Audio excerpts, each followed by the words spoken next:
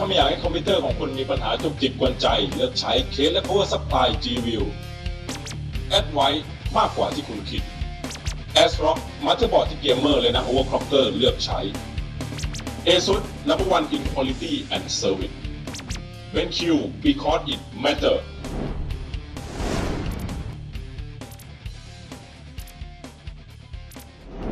ใน power supply บางยี่ห้อ ยี่ห้อที่ดีๆ มากๆเนี่ยครับบางบางช่วงเวลาในการทดสอบของเขาเนี่ยอาจจะสามารถทำตัวเลขนี้ได้ถึง 90เอ่อ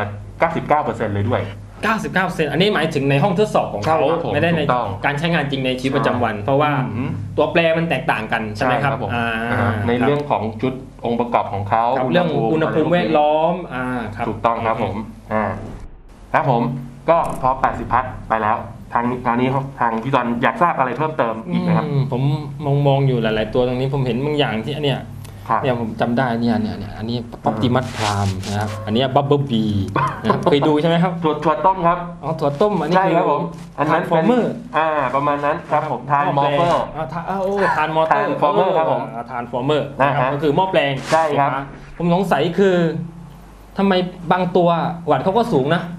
เขามีอันเดียวเองอะอ่าฮะตัวใหญ่ ๆ แล้วก็ครัจะบมีตัวเล็กมาคู่หนึ่งครับมาด้วยกัน แต่อันนี้ทำไมต้องมีแบบ 2 ตัวเป็นลูกแฝดหรือเปล่าครับครับทำไมต้องใช้แบบ 2 ตัวด้วยอ่าฮะนะครับมันอยู่ที่การออกแบบของการภาคจ่ายไฟของเขาครับนะครับ อย่างถ้ายกตัวอย่างตัวนี้เนี่ยครับ power supply รุ่นนี้เป็น power supply ที่จ่ายวัตต์ได้ค่อนข้างสูงสูงนะครับาถูกต้องผมเพราะฉะนั้นเนี่ย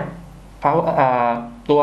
transformer 2ตัวนี้เนี่ยครับเขาจะจ่ายไฟในเรื่องของ 12 โวลต์ครับ5โวลต์ นะครับแล้วก็จะมีแอบมี 3.3 อยู่ตรงนี้นิดนึงตัวเล็กก็คือไม่ค่อยใช้ไฟมากอ่าครับนะฮะเพราะฉะนั้นในส่วนของ 5 โวลต์แล้วก็ 12 โวลต์เนี่ยมันจะชอบค่อนข้างใช้เยอะครับผมฮะเพราะว่าถ้าโดยเป็นเฉพาะ 12 โวลต์นี่แบบกินเยอะมากมีทั้งทุกส่วน CPU การ์ดจอเมนบอร์ดทุกอย่างใช่ไหมครับผมอืมอ่าฮะเพราะฉะนั้นเนี่ยถ้า power supply เนี่ยมีหม้อแปลงแค่ตัวเดียว แล้วต้องจ่ายกำลังงานเยอะๆขนาดนั้นครับโอกาสที่จะไม่ไหวมีสูงอ๋อทำงานไม่ไหวถูกต้องครับ power supply รุ่นนี้ยี่ห้อนี้ก็เลยออกแบบให้มี 2 ตัว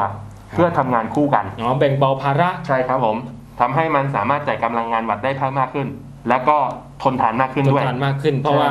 ใช่ช่วยกันหารสองเหมือนถ้ามันจะร้อนต้องร้อนร้อยหนึ่งนะก็เหลือถูก50 อะไรอย่างนี้ต้องครับผมใช่ไหมครับถูกต้อง อันนี้คือหลักการอืมออกแบบของเขาการออกแบบใช่ไหมคใช่รับครับก็คือผมทำงานเป็นคู่ขนานกันเหมือนกันอันเดียวกันก็คือแค่เพิ่มอุปกรณ์ให้มันแบบ เพิ่มความคงทน ใช่ แล้วก็รับภาระรับกำลังงานได้สูงขึ้นถูกต้องครับเท่านั้นเองใช่ไหมใช่ครับผมและเนี่ยครับข้างๆข้างๆผมเห็นแบบอือฮึคอยๆที่เป็นขดลวดขดลวดขดลวดอย่างคนี้รับอันนี้เป็นเขาเรียกว่าต้นกำเนิดเสียงจีต้นกำเนิดเสียงจีใช่ครับผมอ๋อนี่คือจิ้งหรีดถูกต้องนี่คือ ไม่ใช่อ๋อไม่ใช่นะนึกตอนแรกนึกว่าพี่ตอนจะบอกเข้าจีโอ้อันนั้นไม่ใช่ละไม่ใช่นะครับแล้วอ่าเอ่อตัวนี้เนี่ยจะเป็นลักษณะของคอยโชคมันดังมันทำให้เกิดจียังไงอะครับเอ่อพวกคอยประเภทนี้นะครับครับตอนมันทำงานเนี่ยมันจะเกิดการวิ่งของกระแสไฟครับอ่าฮะแล้วพอมันการวิ่งของกระแสไฟแล้วเนี่ย พวกนี้มันจะเกิดการเหนี่ยวนำอ๋อเหมือนแม่เหล็กไฟฟ้าเป็นแม่เหล็กไฟฟ้าถูกต้องอย่างหนึ่งใช่พอมันมีการเหนี่ยวนำปุ๊บเนี่ยมันจะครัมีบโอกาสของการสั่นในตัวมันเอง อ๋อมีใช่การครับ มีการเคลื่อนไหวเพราะว่าความถี่เยอะประมาณนั้นใช่ไหครับใช่ครับผมอืพอมันสั่นแล้วเนี่ยมันต้องโดนไปสักเป๊กหนึ่งมันถึงจะหาย โอ้ย ไม่ใช่ผมพอมันสั่นแล้วเนี่ยครับอ่าในผู้ผลิตที่ออกแบบดีๆนะครับเขาจะมีการหยอดกาวไปที่ขดลวดพวกอ่านี้ เนี่ยครับผมเห็นมันมีการแบบแตะใช่ กาวยางถูกต้องนะครับหลายๆตัวก็มีการแบบหยอดกาวยางอ่าฮะ นะครับอันนี้ก็คือเพื่อลดเสียงจีใช่พอเวลามันจี่หรือว่ามันสั่นเนี่ย มันจะเกิดการเสียดสีของขดลวดครับ อ่าฮะแล้วมันจะเกิดเป็นเสียงจี่ให้เราเห็น จริง ๆ แล้วเนี่ยพอ power supply เกิดเสียงจี่ถามว่าเสียไหมครับ จริง ๆ แล้วมันไม่เสีย ก็ไม่ได้อันตรายก็ไม่ได้ถูกต้องเสียหายอะไร มันก็ทำงานได้ปกติใช่ไหมครับ ใช่ครับผมเพียงแต่ว่าอืมในในตัวบางใน power supply บางตัวที่มันจี่ดังมากๆ ก็คือให้เราสันนิษฐานไว้ว่าครับ ขดลวดมันเริ่มหลวมแล้วเริ่มหลวมใช่เสียงมันถึงดัง ครับพอเสียงมันดังมันดังมาจากการที่ขดลวดหลวมแล้วมันเสียดสีกันมากขึ้นครับอ่าอันตรายมันเริ่มมา อ๋อถ้า ถ้ามันเสียดสีกันนานใช่ใช่ไหมครับขดลวดพวกนี้มันจะมีน้ำยาเคลือบอยู่ๆครับอ่าพอมันจี่มันสั่นมันเสียดสีกันนานๆต้นน้ำยาหาย กลายเป็นทองแดงกับทองแดงแตะกันอ่าลัดวงจรความมันสปร์จะบังเกิดเปรี้ยเปรี้ยนะครับถูกต้องครับผมมันอาจจะเกิดมาเอ่อลามมาเรื่อยครับๆจากส่วนนี้เสียตรงนู้นตรงนี้หรือบางตัวควันขึ้นเลยก็มีอืครับผมอยู่ที่ครับว่าส่วนนั้นเนี่ยมันจ่ายไฟวัตต์สูงหรือว่าแอมป์สูงมากน้อยแค่ไหนอ๋อครับมันเป็นครับผมมันเป็นเยี่ยงนี้นี่เองถูกต้องใช่ไหมครับคผมรับคุณชัยอ่า เดี๋ยวผมยังมีส่วนหนึ่งสงสัยตอนนี้คือผมมีอ่าฮะตัวอย่างอยู่หลาย ๆ ตัวใช่ไหมครับครับ ผมสังเกตเห็นสายของ power supply อือฮึนะครับอย่างเช่นตัวนี้ครับอะอยู่หน้าใกล้ใกล้ใกล้มือนะครับตัวนี้สายมันต่อตรงออกมาที่นี่แล้วก็ข้างหลังก็แบบเรียบๆใช่ไหมครับอ่าเดี๋ยวให้ให้กล้องดู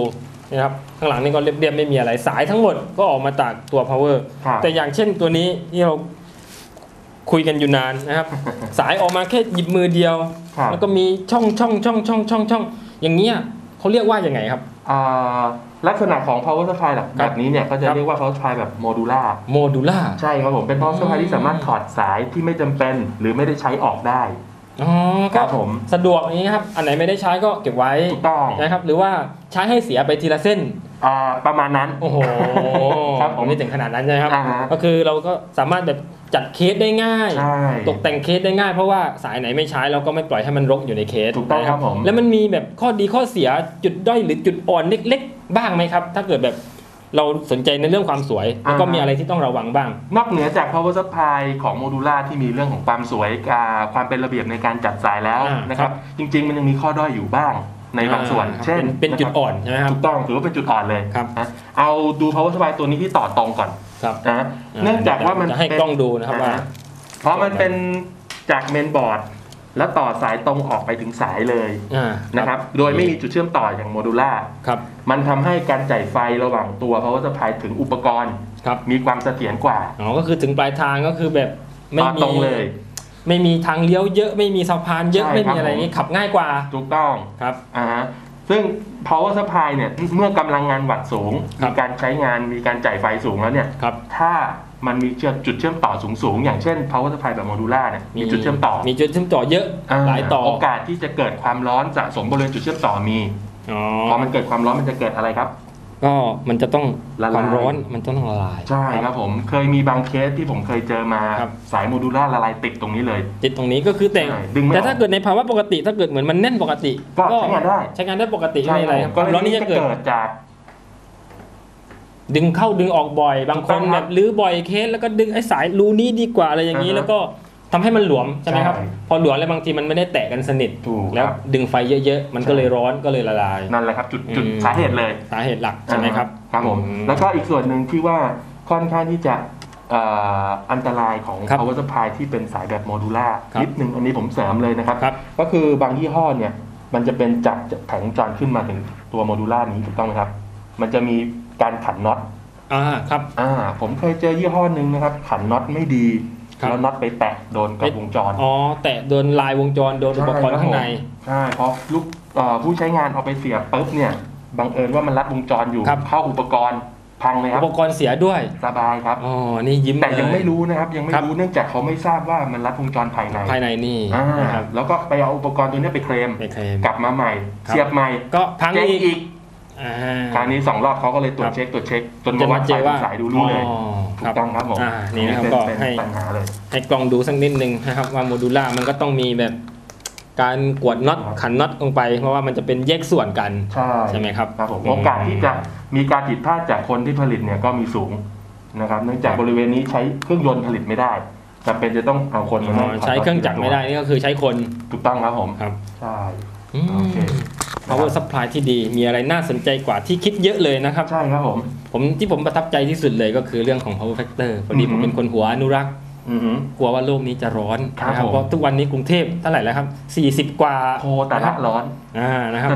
โอ้ยครับแล้วผมถ้าเกิด power power power supply อือฮึ PSU อือฮึที่มี power factor ดีครับๆถ้าได้แบบสัก 99โอ้จุดสุดยอด99นี่ครัก็บคือเราแบบเป็น